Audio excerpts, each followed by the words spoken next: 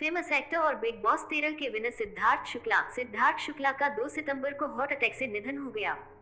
इस खबर ने उनके फैमिली दोस्तों के साथ साथ फैंस को भी एक गहरा सदमा दिया है।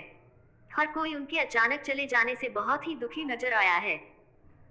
वहीं सोशल मीडिया पर लगातार सिद्धार्थ को लेकर शेयर की जा रही खबरों से दुखी होकर उनके परिवार ने सोमवार को एक बयान जारी किया है, जिसमें उन्होंने कहा कि, कृपया सभी परिवार की निजता का सम्मान करें।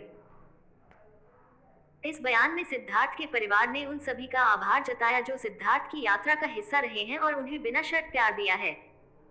उन्होंने आगे कहा कि ये निश्चित रूप से यही समाप्त नहीं होता है क्योंकि वो अब हमारे दिलों में हमेशा के लिए ज़िंदा रहेगा।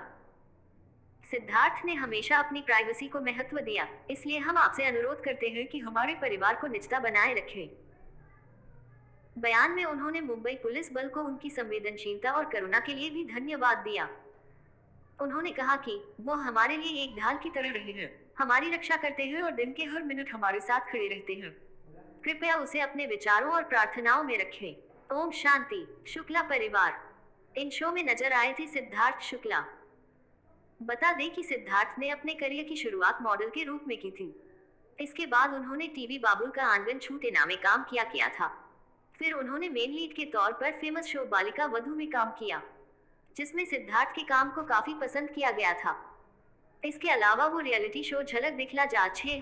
फियर फैक्टर खतरों के खिलाड़ी सात और बिग बॉस तेरह में भी शामिल हुए थे। बिग बॉस में उनकी जोड़ी शहनाज गिल के साथ काफ़ी पसंद की गई। दोनों ने इस शो में लोगों को खूब प्यार पाया। मालूम हो कि सिद्धार्थ ने साल 2014 में करण जौहर की फ़िल्म हम्टी शर्मा की दुल्हनियों से बॉलीवुड में कदम रखा था। वीडियो पसंद आया तो इस वीडियो को लाइक करें, शेयर करें और चैनल को सब्सक्राइब करें।